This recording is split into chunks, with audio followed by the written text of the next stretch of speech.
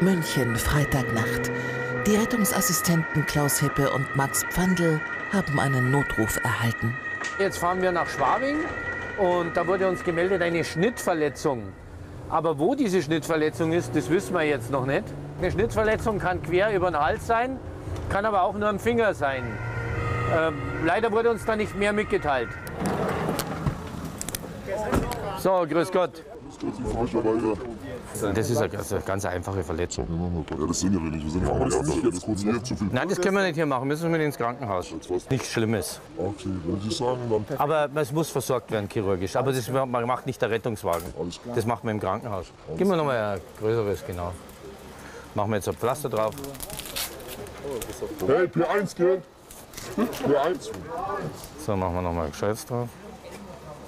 So einfach, ich mache hier einen, einen Druck drauf. Wenn du mir eine Binde gibst, reicht mir. Willst du kein, äh, Nee, ich hätte einfach Was mit der da? Kabel 1.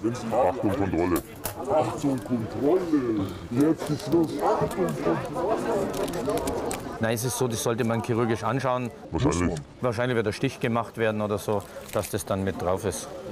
Wird der Stich gemacht, das blutet dann ein bisschen durch. Das ist jetzt hier schon. Also wegen dem fahren wir eigentlich nicht, dass Sie können mit dem Taxi fahren ins Krankenhaus. Aber Sie sollten ins Krankenhaus gehen. Brauchst nicht. Wenn Sie sagen, brauchst nicht, hey, das ist alles auf Kamera.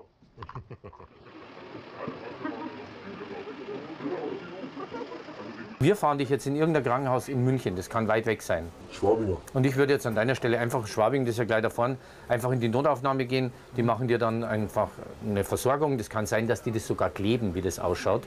Glaube ich auch. Dass die das kleben, dass sie es nicht einmal nähen müssen, weil das Blut doch ganz schön, gell? Obwohl eine Fahrt mit dem Rettungswagen nicht nötig ist, besteht der Mann darauf. So, dann dürfen Sie sich freimachen vom Gurt und dann kommen Sie mit. Ja, man hat heute ein sehr hohes Anspruchsdenken, dass man also dann auf jeden Fall mit dem Rettungswagen transportiert werden muss. Der hätte jederzeit natürlich auch mit dem Taxi, der hätte sogar mit der U-Bahn fahren können ins Krankenhaus. Aber da das vermutlich ein Arbeitsunfall war, wie er so gesagt hat, und er darauf besteht, müssen wir mitnehmen. Dann nehmen wir halt mit. ähm, Was soll's. Aber es ärgert einen trotzdem, weil vielleicht wird der Rettungswagen woanders gebraucht zu dem Zeitpunkt.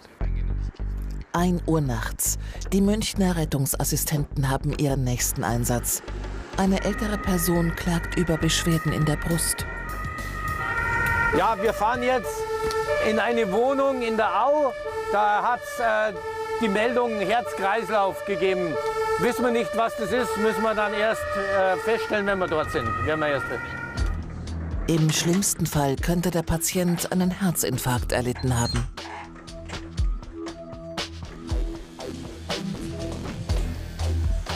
Was haben wir?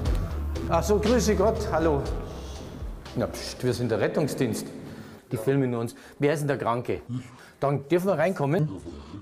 Grüße, was können wir denn für Sie tun? Ich weiß es nicht. Ich habe da so ein, ein Stechen da hier, Auf der rechten Seite. rechten Seite. Wird es schlimmer, wenn Sie ein- und ausatmen?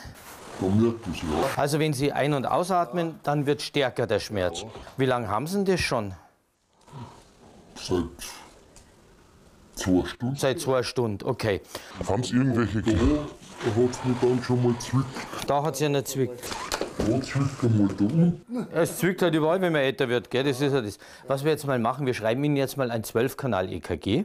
Da schauen wir mal, ob wir am Herzen was Auffälliges sehen. Dann müsste man den Oberkörper freimachen. Ich helfe Ihnen dabei. Brauchen Sie nicht aufregen. Wir schauen einfach mal, ob wir jetzt irgendwas Auffälliges sehen. Und dann, schauen wir, dann reden wir gleich mit Ihnen weiter. Gell? Da verstopfte Ader oder irgendwas. Können Sie den linken Arm bitte ganz locker liegen lassen, nicht anspannen?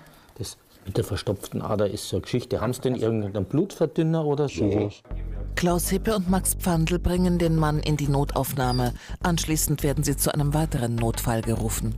Jetzt würde ich Sie bitten, dass Sie sich anschauen. Ist ja eine kalt. Komisches. Komisches.